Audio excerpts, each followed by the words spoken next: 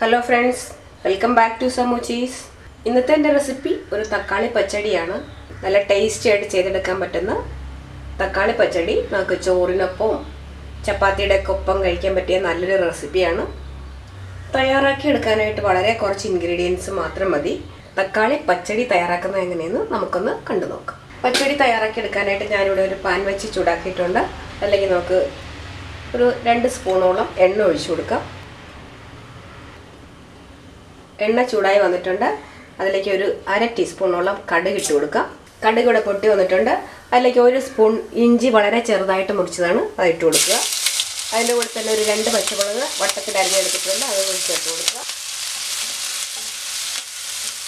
ഇത് നല്ലതുപോലെ ഒന്ന് മൂപ്പിച്ചെടുക്കണം.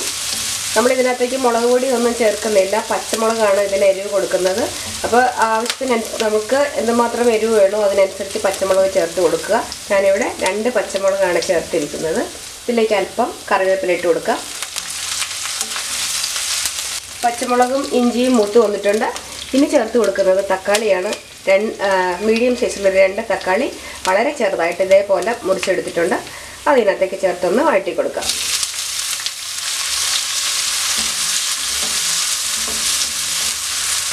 ഈ സമയം നമുക്ക് ഇതിനാവശ്യമായ ഉപ്പ് കൂടെ ചേർത്ത് കൊടുക്കാം. നന്നായിട്ട് മിക്സ് ചെയ്യുക. ഈ തക്കാളി വെന്ത് നല്ല സോഫ്റ്റ് ആയി കിട്ടുന്നത് വരെ ഇതൊന്ന് കുക്ക് ചെയ്തെടുക്കണം. അപ്പോൾ ഇതൊന്ന് വെന്ത് വരട്ടെ. ആ സമയം കൊണ്ട് നമുക്ക് ഇതിനാവശ്യമായ അരപ്പൊന്ന് റെഡിയാക്കി എടുക്കാം. അരപ്പ് തയ്യാറാക്കാനായിട്ട് ഞാനിവിടെ ഇതേപോലെ ഒരു അരക്കപ്പ് തേങ്ങ എടുത്തിട്ടുണ്ട്. അത് മിക്സിയുടെ ജാറിലേക്ക് ഇട്ട് കൊടുക്കുക. രണ്ട് ഉള്ളി ഒരു പച്ചമുളക്. ഇനി ഇതൊരല്പം വെള്ളം ചേർത്തിട്ട് നല്ലതുപോലെ ഒന്ന് അരച്ചെടുക്കണം. അല്പം വെള്ളം ഒഴിച്ചു കൊടുക്കുക. അല്പം കടുക് ഒരു പിഞ്ച് ജീരകം കൂടെ ചേർത്തിട്ട് നല്ലതുപോലെ ഇതൊന്ന് അരച്ചെടുക്കണം. അപ്പം ഞാനിതൊന്ന് അരച്ചെടുത്തിട്ട് കൊണ്ടുവരാം.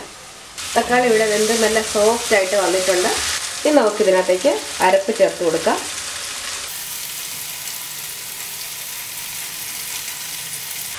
മിക്സിയുടെ ജാറ് കഴിഞ്ഞ് അല്പം വെള്ളം കൂടെ ഉണ്ട് അതും കൂടെ ഒഴിച്ച് കൊടുക്കുക. നന്നായിട്ട് മിക്സ് ചെയ്ത് കൊടുക്കുക അരപ്പിന്റെ പച്ച ഒന്ന് മാറുന്നത് വരെ ഇതൊന്ന് കുക്ക് ചെയ്തെടുക്കണം.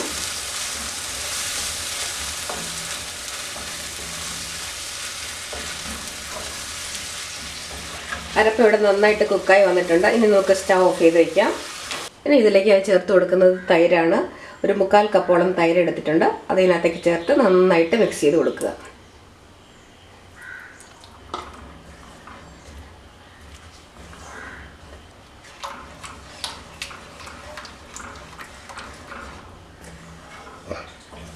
എല്ലാം നന്നായിട്ട് മിക്സായി വന്നിട്ടുണ്ട്. ഇനി നമുക്ക് ഇതിനകത്തേക്ക് ഒരല്പം കടുക് കൂടെ വറുത്തിട്ട് കൊടുക്കാം. കറി ഞാൻ ഇതുപോലെ ഒരു പാത്രത്തിലേക്ക് മാറ്റിയിട്ടുണ്ട്. ഇനി നമുക്ക് അതിനകത്തേക്ക് വറുത്തെടുത്ത കടുക് ഇട്ട് കൊടുക്കാം.